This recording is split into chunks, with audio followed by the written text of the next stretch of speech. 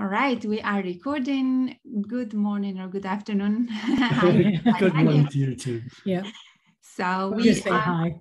just say hi. We are back for another video about the spiritual books for the month of May. We are a bit late because I have been traveling, we have been busy, and I spent some time off uh, offline. I'm gonna talk about that in another video.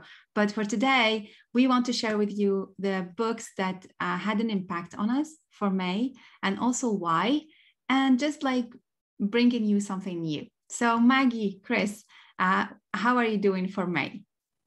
We've had a quite a difficult month, so uh, that's one of the reasons we're a little bit behind. Yeah. And uh, but we've we've also learned a lot. There's a lot of Mm. information coming in, so things are changing. So uh, go ahead, Meg. Okay. Yeah. I I had a lot of difficulty finding a book this time because so many I, I wanted to read um, read and review.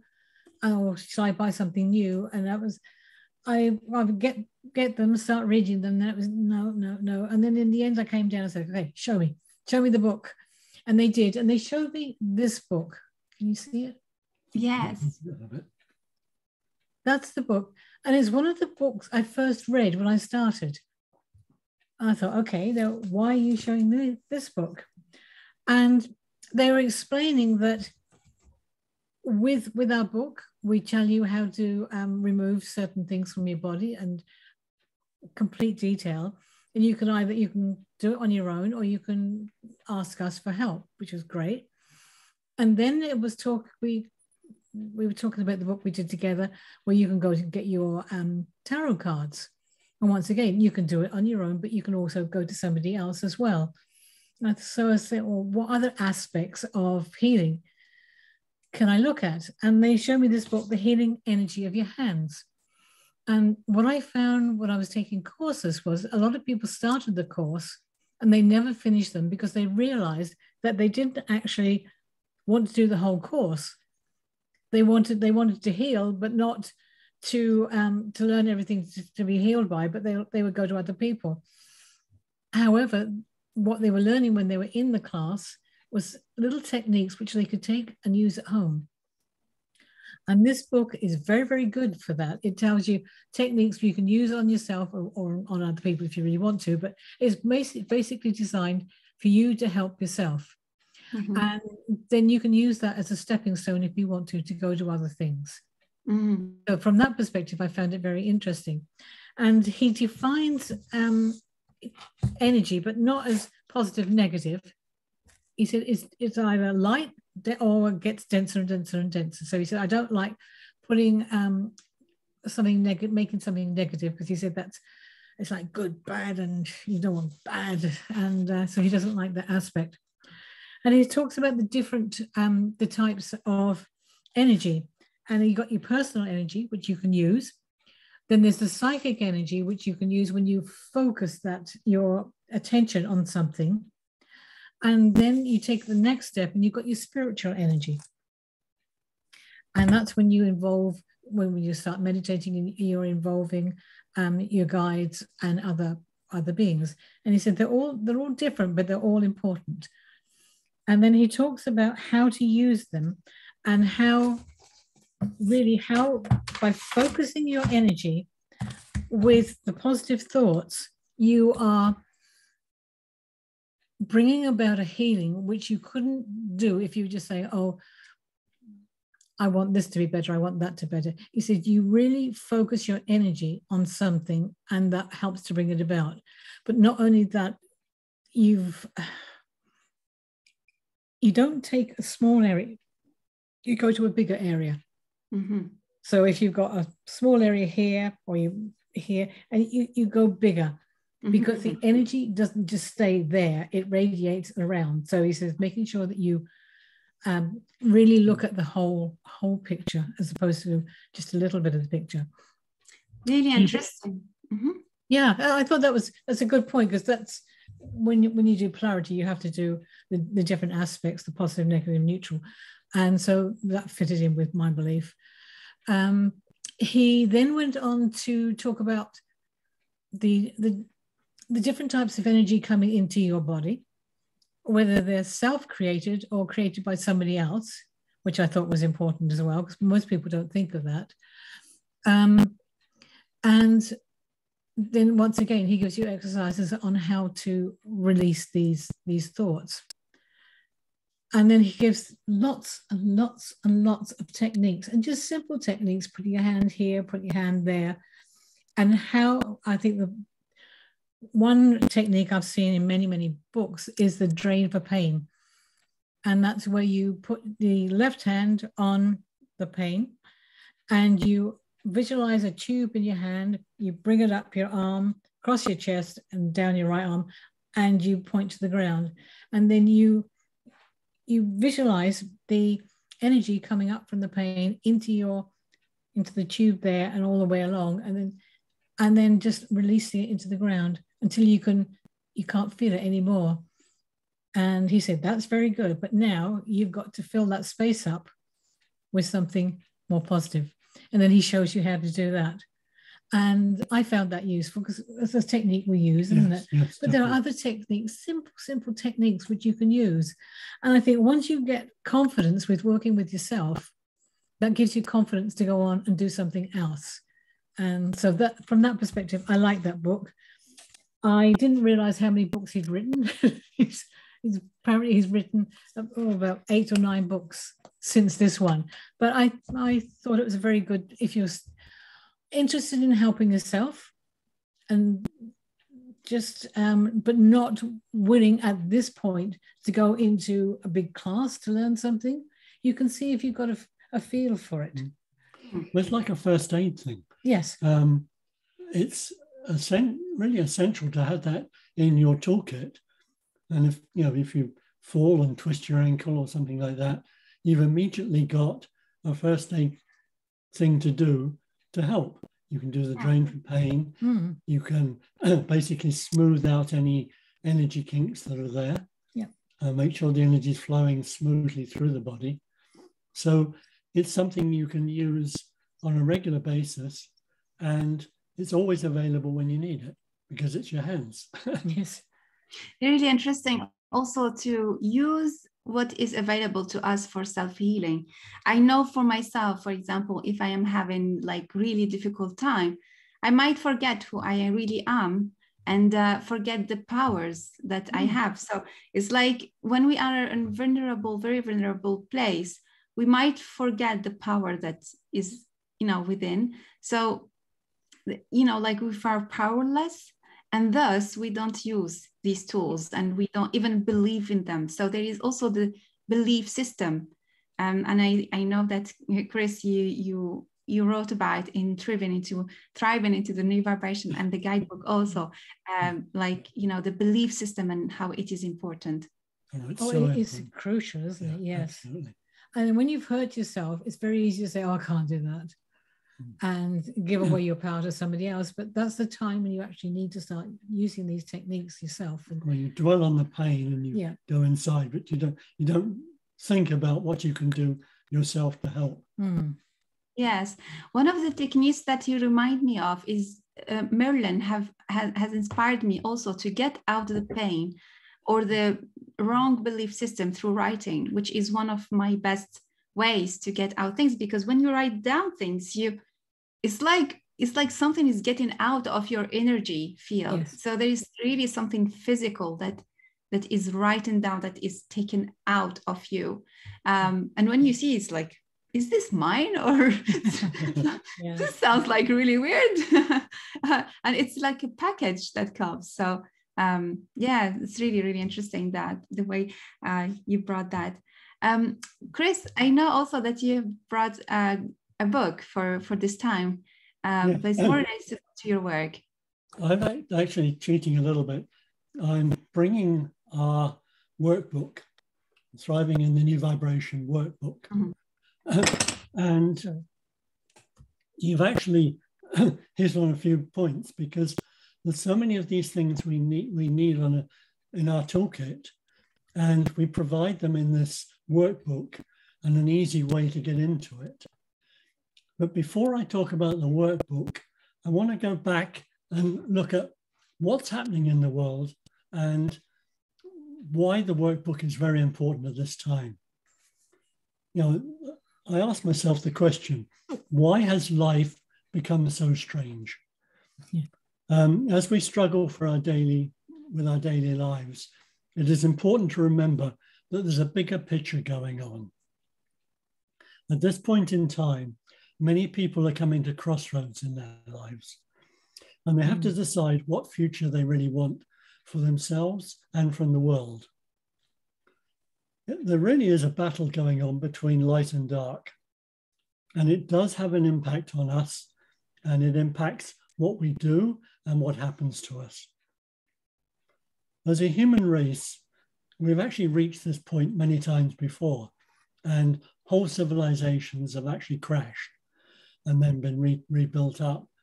So we are in a very important part or very important time in our life.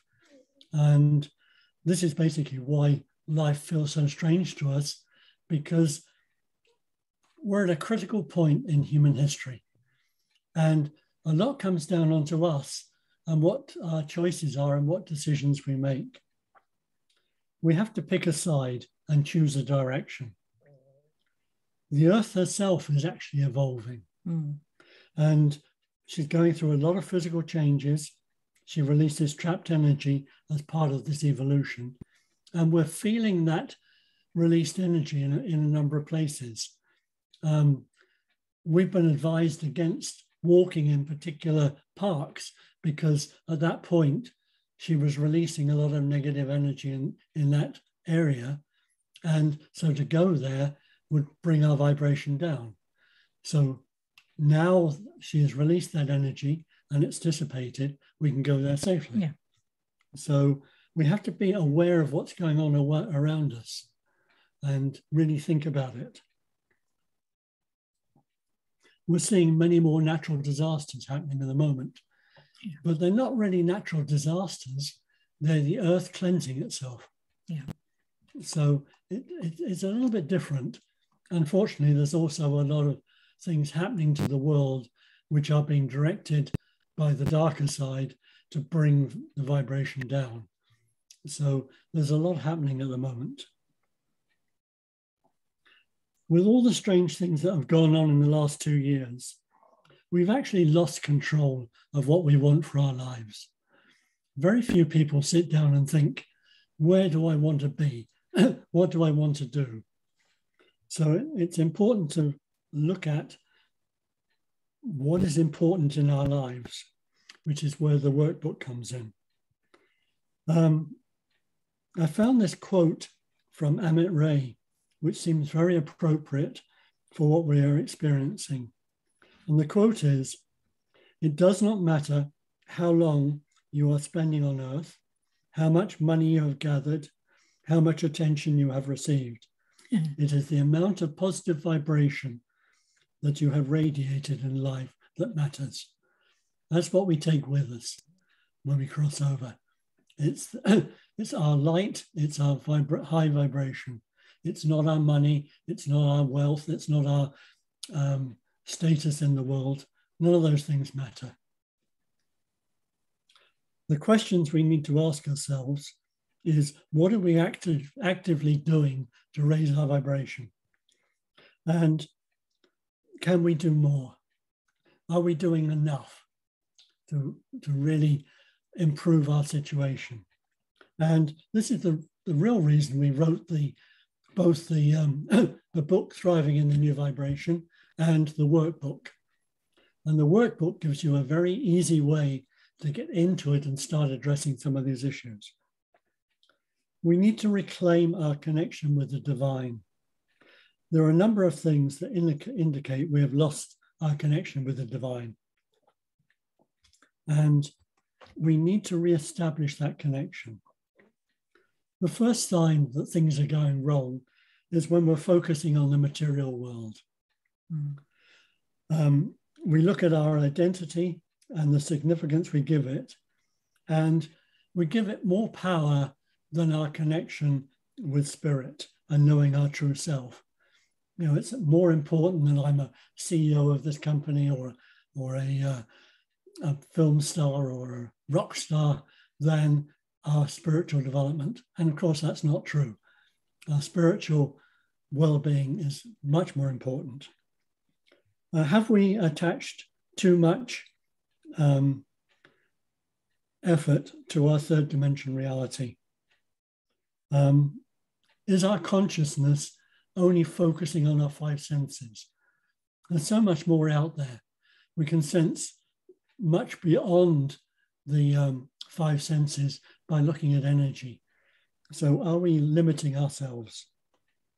Do we totally identify ourselves as just this physical body? When forgetting that we have a spiritual body and so much more. Mm.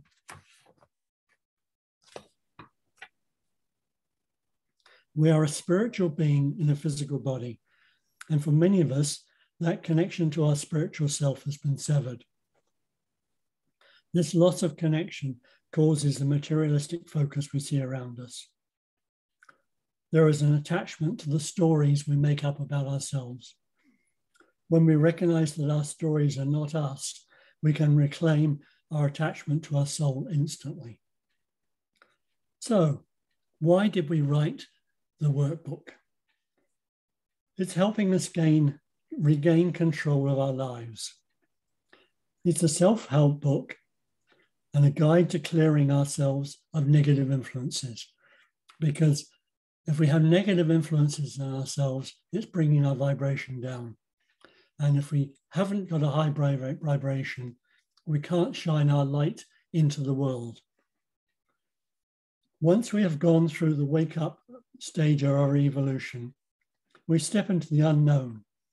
It's like we have a clean slate and we need to decide who we are and what we really want for our future life. We have more power than we realize. We're actually in this state now, this very point now, choosing what we want in our future life. Do we want to continue with the way we were going? Do we want to continue worrying about uh, whether we've got enough money, whether we have enough food, things like that? Or do we want to focus on what the world can be like if we put a high vibration into it? And if enough people are thinking like that, yeah. you're going to manifest it a lot quicker. Exactly. Yeah. Because we do have the power, power to manifest things at the moment. Our book provides a structured way to negotiate this path of evolution and provides a way to help you solve the obstacles that are blocking your growth. In the workbook, we start by helping you to find your life's purpose. Once you know why you're here and can see the bigger picture, uh, it all comes into perspective and you realize uh, that it is important to be working on uh, what you really love and what you really want to do.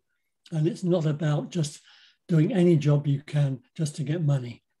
It's about actually really being here and, and acknowledging you're here to learn and to, to live this life. Um, where are we? it's important to focus on where you need to put your energy and doing what we came to Earth to do. Mm. The next step is to identify your beliefs. Yeah. We mentioned earlier that our beliefs control our life. Depending on what we believe, depending depends on what we will allow or accept as reality in our life. So we actually control reality by our beliefs. So in the workbook, we help you to look at what are your beliefs? What is stopping you doing things? Part of living is to enjoy being here. And only you can determine how much joy you bring into your life. And your beliefs are actually controlling how much joy you'll, you'll allow in. I said earlier we're at war and there are negative influences in the, this world who do not want us to evolve. And we carry a lot of those negative influences in our body. Um, as we go through life, we collect those negative in influences and we store them in our body.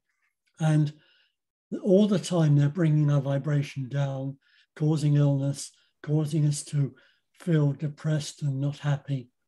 And it's like a cloud we carry around us that brings us down. Um, part of the book, um, our workbook, we take you through a series of exercises to identify what those negative influences are. And we help you remove them because you do have the power to remove these things. They don't have to stay with you. So you can work on that.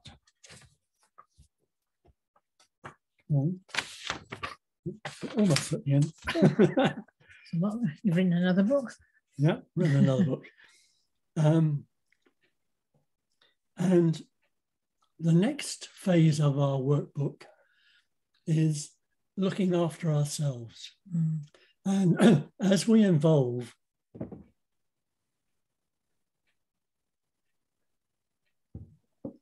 we become we can become much more sensitive to the food we eat mm. and to the environment around us. We really sabotage ourselves by eating badly, by having a lot of um, negative environmental influences around us. Uh, there's lots of pollution. There's lots of uh, pesticides in the garden. There's, there's pesticides on our food. There's electromagnetic um, corruption in our houses. So we basically sabotage ourselves a lot. And the book helps you look at what is going on in your life, what you have in your house that you shouldn't really, or you should reduce uh, as much as you can. Um, it's important to come from our heart. And every day we focus on making choices that are heart driven and to raise our vibration. Because we can insert, insert a positive influence on the world. And part of our job here is to radiate light. There are grids around the world, and we need to energize those grids because we need to encourage other people to break out of their um, cocoon and to start evolving themselves. And they can only do that if they can see light and they can see where they're going. Every time we accept something we know is wrong or harmful, we actually help the dark side. So we need to be very careful on our thoughts.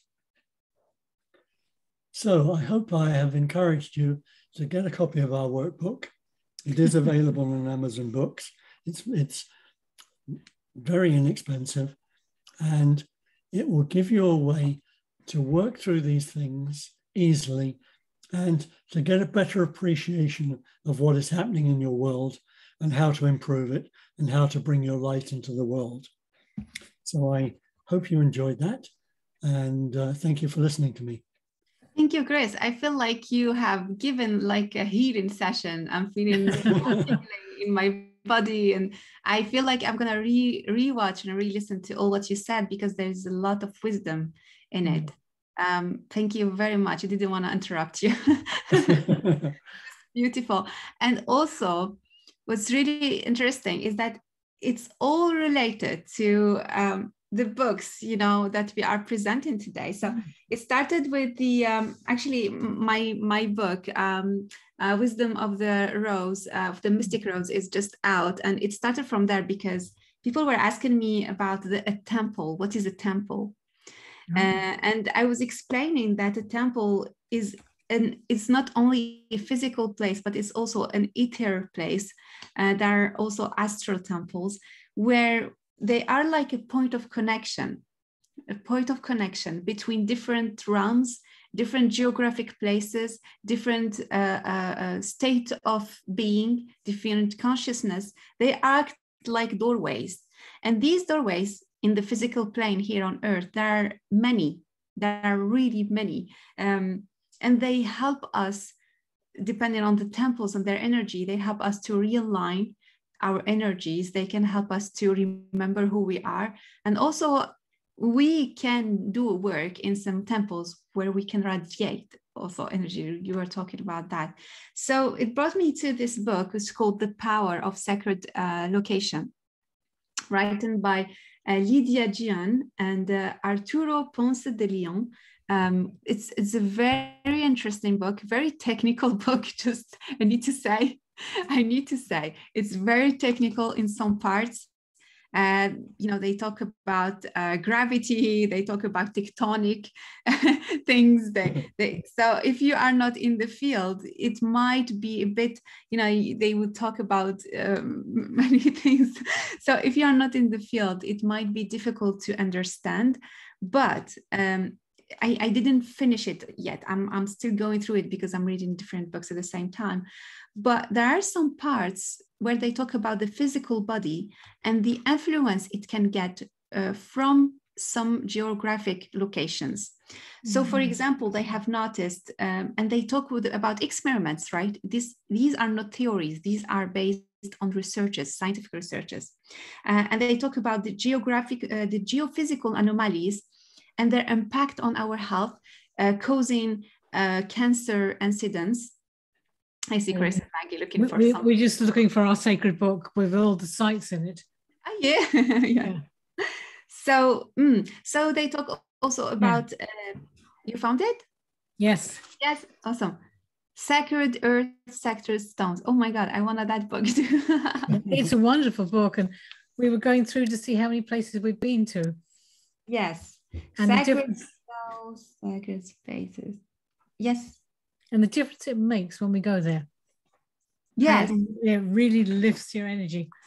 Exactly. Mm. Uh, so also they talk about the the effect like they noticed in some cities uh, like paris where there are some places people are more sick than other places you know yeah, yes there are like you know a, a pollution and things like that but there is something about the physical location that has a mm. big impact so uh, anyway, it's, it's very interesting. I'm still going through it um, and learning a lot.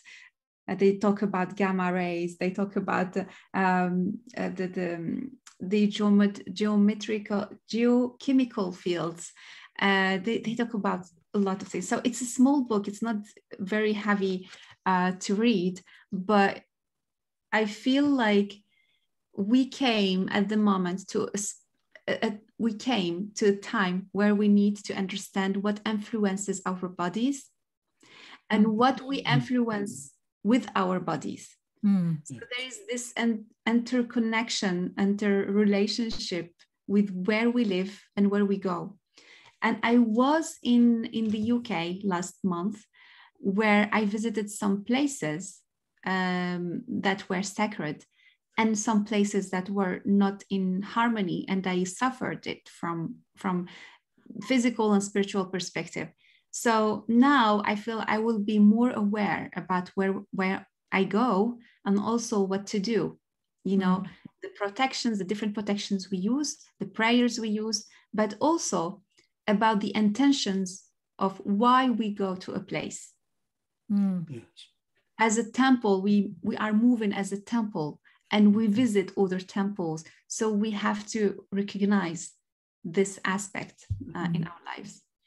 Yeah. do you remember in Hong Kong? Yes. We went to, it was interesting. In Hong Kong, there's a huge, huge Buddha on the top of this, was it a mountain? Hill. Hill. Oh. Absolutely huge. And you get a cable car to go up there. And um, we got up there and everybody was going up. There's 200 odd steps you had to go up to to get to the Buddha. And we got up there and we thought, yeah, there's nothing. there's nothing. yeah, and the energy. We, we couldn't feel anything at all. We came down and we walked just a little way away just to have a look at the Buddha. And all of a sudden it was the energy just absolutely infused us. And we just stood there. And people were just walking by, not aware of the energy. But that was for us, that was where it was concentrated. But it's interesting. Yes, there is. You remind me of a movie called the Indian, the Indian Initiation or the Indian Secret. I forgot the name of the movie, but uh, they were standing in, in in the one of the last parts of the movie. The the actors were standing in a place, and they become they became invisible to the enemy. Oh, yes, yes. They were standing in a sacred space, and that made their energy so high, and they were in so much joy that they became invisible. Yeah. So there is this. That, I believe, magic, yeah. Yes, this magical aspect of the sacred location and uh, Mm. how how it can have an impact on not only our visibility but on the world Mm. uh, what we diffuse to the world and how we are seen in the world Mm. Mm. Yeah, we had another one. Was it in Italy? Oh, we went to um, St. Francis of Assisi, his his chapel inside of Yeah. that um, Mhm. cathedral. And you've got these door, big doors going in, and you've got all these murals, and there's a little door on the side. And I was with my daughter and, and Chris at the time. We walked in and we went, couldn't feel anything. And everyone's going, Oh, this is wonderful, this is wonderful. And I, I'm sure it was for them. But we went out the side door, and all of a sudden it was like that. The energy just hit us, and we just stood there. I don't know how long we stood there for, but it mm-hmm. was we were just infused with this wonderful energy. And I thought, it's not always these dramatic things that you're looking for, mm-hmm. it's the little things. And I think most people are confused with that. They're looking for something really big to focus on, and it's not, it's just something small, but it, it contains the energy. and that also is related to what we see and who sees things you know mm-hmm. i feel also the big things like for example in some temples and some churches they are dist- distractions distractions for mm-hmm. what is mm-hmm. really important. So that that is what you see with the eyes and that is what you see with the heart. Mm. there are Yes. different things. So i was i have been thinking the last weeks about how to refine the way i see things. It's not about you know like visualization or um, clairvoyance there is something else with the heart and as we live in a confused world and in a confused mind we can't see things clearly from a heart perspective and we take decisions that are not aligned with what we are Mm. so I have been really meditating over this question that starts with the clarity of the mind. We have to get clear mind and we have to settle. We have to meditate and we have to start making void in order for the heart to start sensing the different voices uh, that are harmonious. It's a little, it's a little bit like I was talking about. My voice is going. Um, but if we just rely on our sight, we're not we're not getting the full information. No, we have to come from the heart. We need And we've been told more and more we need to come from the heart, to feel from the heart, to see if it resonates with us, because the heart has its own brain and we don't use that enough. Yes. Um, so we need to um, stimulate it, to grow it. And so that when we listen, whether we're listening to something, um, looking at something, first thing we do is, okay, how does my heart respond? Yeah. And normally we go, well, I think this, I think that, but it's not this. How does your heart respond? How does it feel too? How yeah, how does it feel? Yeah. Yeah. Beautiful. Um, it was always a pleasure as always. um, so I just uh, um, thank our viewers to be here and to listen to us and uh, let us know what you thought about these books, uh, how you like them. Check out uh, Chris's books and Maggie's books, and also my new book uh, on Amazon, available on Amazon now. I'm going to present it soon. Please give me time. As always, I'm, I have a lot of work, so I will come whenever I I, I feel like to have to feel to. So uh, have a lovely day and uh, talk to you soon. Nice talking to you. Right. Bye.